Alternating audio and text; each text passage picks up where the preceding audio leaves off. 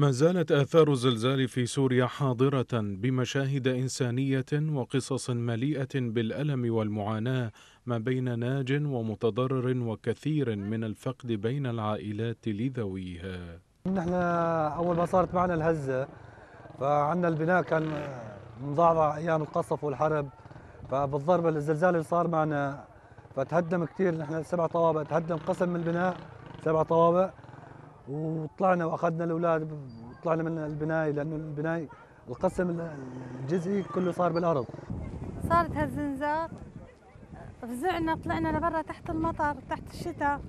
أطفال أولاد كلياتنا وقفنا تحت المطر. أول نهار لثاني نهار بقولوا في عالم عم تقعد بالجامع. أخذنا ورحنا على الجامع. صار لنا ثلاث أيام أربع أيام عم بالجامع. بعدين قال ما بقى يسمحوا لنا بالجامع. يا أخي والله البيت تخلوع ورايحين هد فعلا. وفي بنايات ست سبع طوابق انهدت ولهلا الناس عم تطالع الجثث والشهداء من تحت البنايات معاناة الناجين من الزلزال في سوريا لم تنتهي بعد بل تحولت إلى كارثة أخرى يعيشها الناجون من الزلزال المدمر بسبب انهيار منازلهم ومواجهتهم الظروف المعيشية الصعبة. أغلب الناس بحاجة إلى خيم بشكل سريع نفذنا بعض الأنشطة ضمن هذا النطاق. آه، طبعا كذلك الأمر كانوا بحاجة آه، ماسي للبطانيات وال والإسفنجات. كذلك الأمر باعتبار أنه فقدوا كل أغراضهم تحت تحت الأنقاض. فقدنا الكثير للأسف في محافظة إدلب فقط حوالي 2200 وفاة. عدد الإصابات تجاوز 11000 إصابة وهذا يفوق قدرة قطاع الصحة على استيعاب هذه الكارثة.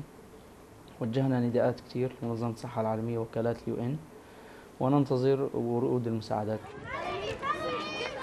هي إذا ظروف قاسية ومصاعب بكافة أشكالها السياسية والاقتصادية والكوارث الطبيعية من الزلازل وغيرها تجسد بوضوح استمرار معاناة السوريين من أجل البقاء في ظل غياب الإرادة الدولية الحقيقية في إيجاد الحلول لإنهاء هذه المعاناة المزمنة.